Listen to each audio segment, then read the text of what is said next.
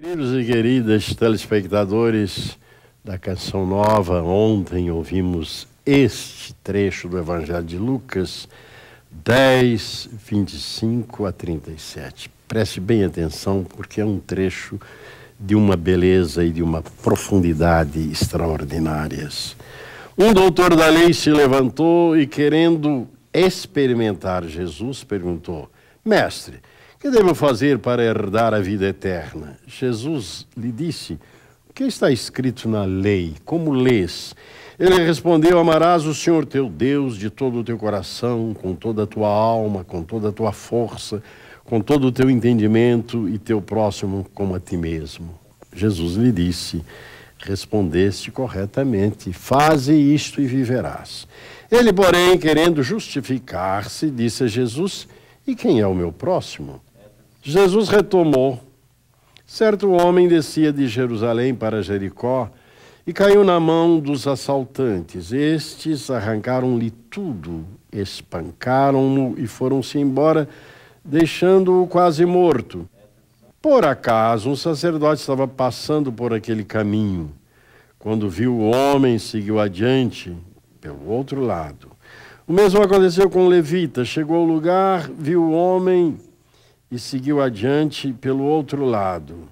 Mas um samaritano estava viajando, chegou perto dele, viu e moveu-se de compaixão. Aproximou-se dele e tratou-lhe as feridas, derramando nelas óleo e vinho.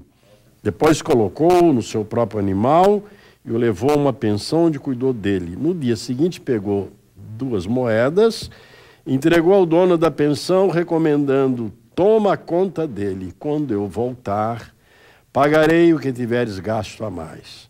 Na tua opinião, perguntou Jesus, qual dos três foi o próximo do homem que caiu nas mãos dos assaltantes? Ele respondeu: aquele que usou de misericórdia para com ele.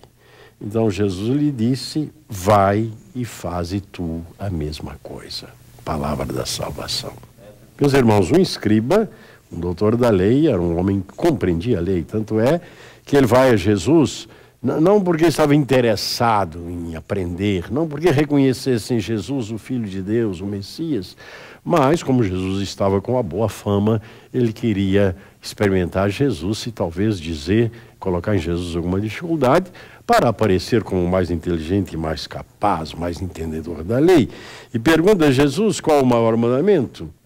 E Jesus Jesus disse: O que está escrito na lei? E ele respondeu corretamente: O Shema Israel, amarás o Senhor teu Deus. Jesus disse: Pois bem, faz isso e viverás. E aí ele, para se justificar, depois dessa resposta de Jesus, falou assim: Mas quem é o meu próximo? Então vem a parábola do samaritano. E a parábola do samaritano é, tem uma força extraordinária, porque, porque Jesus coloca o pessoal descendo de Jerusalém para Jericó, uma pessoa que é assaltada, está quase morta, e passa um sacerdote, portanto, alguém líder na religião judaica, como um escriba, um doutor da lei também o era, passa um levita, que é da tribo sacerdotal, e passa ao longe, talvez com medo, não é lugar para se parar, porque é lugar de assalto. E vem um samaritano, não veio, portanto, um judeu, não veio uma pessoa entendida na lei, talvez um samaritano também, que conhecesse Shema Israel, mas de qualquer forma, os samaritanos eram desprezados pelos judeus, e é esse samaritano que se aproxima daquele que está caído ao chão, cuida dele, coloca numa pensão, numa casa que pudesse acolher, trata, paga e diz: O que gastares, quando eu voltar, eu pagarei tudo. E Jesus pergunta então ao doutor da lei: Quem te parece, qual dos três foi o próximo do homem que caiu nas mãos dos ladrões? Olha que coisa interessante. O, o próximo que nós devemos amar é aquele do qual nós nos aproximamos. Nós temos que nos tornar próximos daquele que precisa. Né? Não é ficar esperando aquele que chega a nós. Também isso, naturalmente. Mas aqui é bonito a ideia. Qual qual dos três foi o próximo do homem que caiu na, nas mãos do assaltante? Qual, qual foi aquele que se aproximou? Foi o samaritano. Né? Está, é, portanto, uma grande lição A gente não basta pertencer um movimento, trazer uma fita, sinais externos de pertencer a um grupo, a uma pastoral, a uma associação, é, estar presente nas orações públicas, quando todo mundo vê a gente, é preciso, para viver o Evangelho, que a gente vá até aquele que mais necessita. É este o caminho da salvação, esse é o caminho de Cristo. Usar de misericórdia e fazer-se próximo daquele que precisa. O que, é o missionário? É aquele que sai de si, e o Papa Francisco tem insistido muito nisso, sair de si mesmo para ir até o outro, compreendê-lo, ver a sua dificuldade, o seu anseio, a sua expectativa e ajudar o outro para que ele recupere reencontre a sua dignidade.